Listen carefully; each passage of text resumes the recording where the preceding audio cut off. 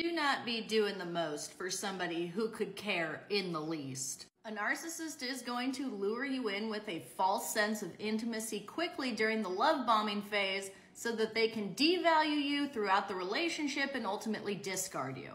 During that love bomb, they're going to make you a lot of promises that they don't end up keeping. It's called a future fake. They're going to tell you, we're going to be so happy together. We're going to be soulmates forever. We're going to have a family. We're going to have a house. We're going to do great things.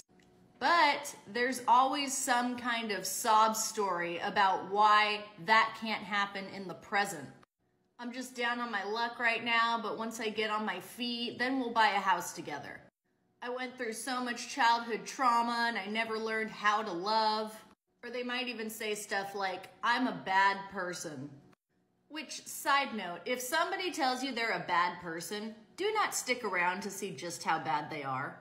Anyway, these sob stories accomplish two things. One, it helps them perpetuate their victim narrative. They always have to be the victim no matter what. But it also creates a level of vulnerability right off the bat between you two that you don't normally get in healthy, stable relationships. That makes you want to help that person. The narcissist is immediately using your empathy against you, and they're going to continue to do that to guilt you into serving them and to manipulate you.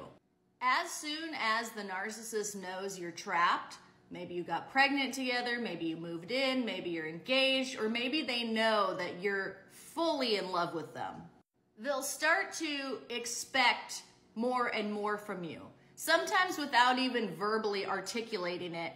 And sometimes when you don't do all their little tasks, chores, or whatever, they will get mad at you. Now you're in the devaluing stage, and that is a one way ticket to a discard or a reverse discard.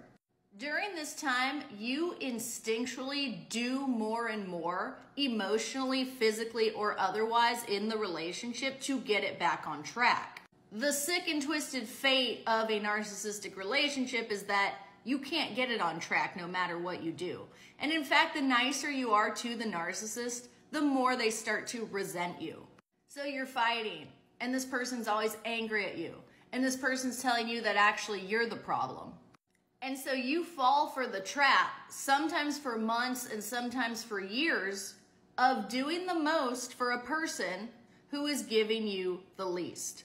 If you're in a narcissistic relationship, you are no doubt confused. But what I can tell you is that this person has not been contributing anything emotionally for a long time. They are emotionally desolate people. They trick you into doing everything for them. That's their gross sense of entitlement. You got to see it for what it is. You have to realize that your needs have not been met in a very long time and get out of there, go no contact. If you want an escape plan, I've got a book on Amazon called Navigating Narcissists. The link to that is in my bio.